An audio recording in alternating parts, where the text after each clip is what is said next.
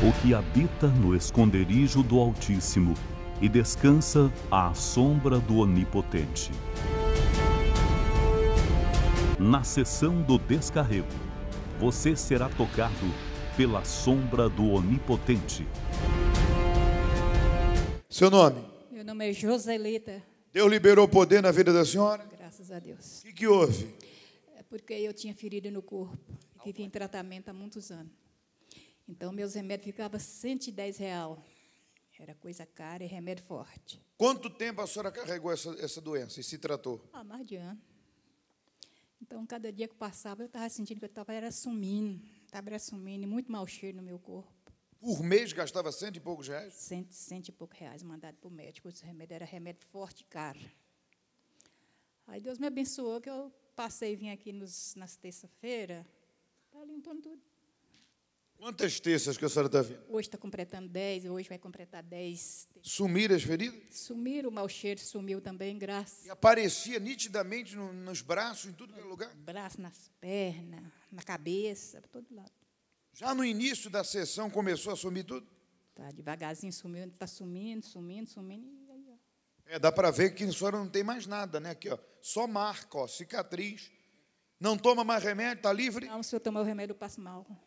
Nem precisou do remédio mais. Não posso tomar o remédio. Se eu tomar o remédio, eu passo mal. O remédio está lá para trazer. Pra...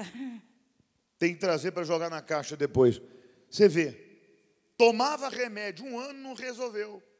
Começou a usar a fé, sem o remédio sumir as feridas. Deus operou e liberou poder na vida dela. Que Deus abençoe a senhora ainda mais. Vai na fé, senhora. Seu nome é? Patrícia, Patrícia. Deus liberou poder? liberou. Conta, o que está acontecendo, o que, que mudou? Bom, eu tinha uma ação há um ano e eu nem lembrava da ação mais. Aí eu, vindo para cá, pedi para Deus para começar o ano que vem sem dívida nenhuma. E semana passada, antes de eu vir para cá, foi audiência e foi liberado. Quer dizer, estava fechado, você pediu a Deus aqui no Vale do Sal, as portas se abriram? Causa ganho? Causa ganho.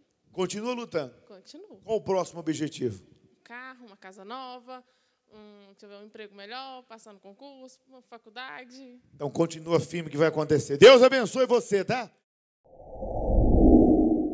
Qual o nome do senhor? José Alves. Deus liberou poder na sua vida? Olha, passei no Vale do Sal, não tomei remédio de pressão, problema de coluna, acabou tudo. Nem no... Como é que estava a situação? Eu tomava remédio todo dia, mas se incharam o rosto, se eu não tomasse remédio, as pernas mais cedo tolar o dedo. Qual o movimento que você não podia fazer?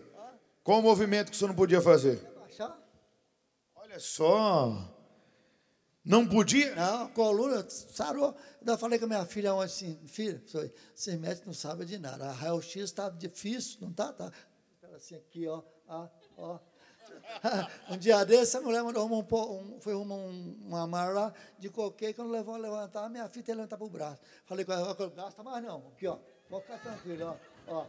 Aí ela falou assim, "Ué, pai, o que, foi? Deus? Quantas terças está? Eu tô direto, direto. Acabou a dor de coluna? Acabou tudo. Não depende mais de remédio para pressão. Tô novinho. Tá vendo? Tem, há quem diga que a idade piora. Pois bem, ele começou a fazer a sessão e a idade, mesmo estando na idade que está, está melhorando a cada dia. Eu a oito. Hã? Meia oito. Foi curado. Que Deus abençoe. Vai na fé.